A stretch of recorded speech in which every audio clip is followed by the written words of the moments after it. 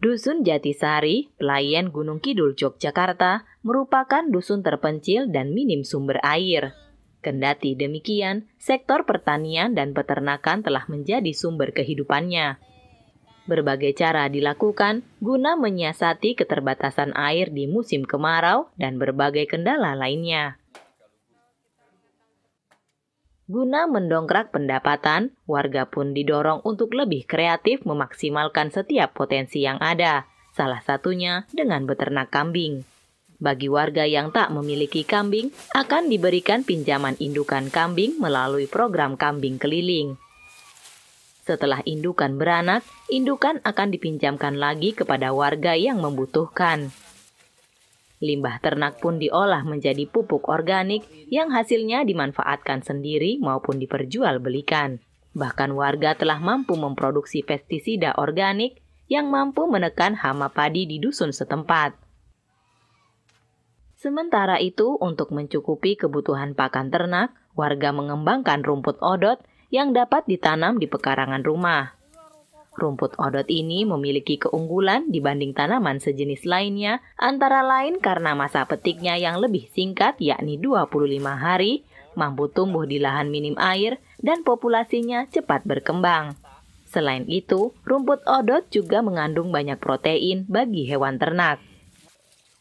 Selain upaya peningkatan ekonomi, warga Dusun Jatisari juga memiliki misi mengentaskan kemiskinan yang dijalankan melalui program Wahana Kesejahteraan Sosial Berbasis Masyarakat WKSBM.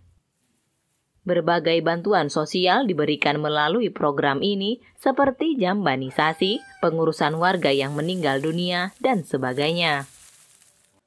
Kepala Dusun Jatisari Agus Purwadi mengatakan, Berbagai kegiatan pemberdayaan tersebut dapat berjalan berkat adanya pos pemberdayaan keluarga, Posdaya, yang berdiri sejak 2014 lalu. Dengan adanya Posdaya yang diberi nama Posdaya Mitra Sari, warga menjadi tahu jika setiap kegiatan harus ada wadahnya dan dibutuhkan pula pelatihan dan pendampingan. Semakin semakin tahu bahwa di kegiatan di masyarakat itu memang harus ada harus ada wadahnya dampak yang dirasakan adanya budaya ya. Kita semakin kokoh semakin giat dalam bergotong royong. Hmm.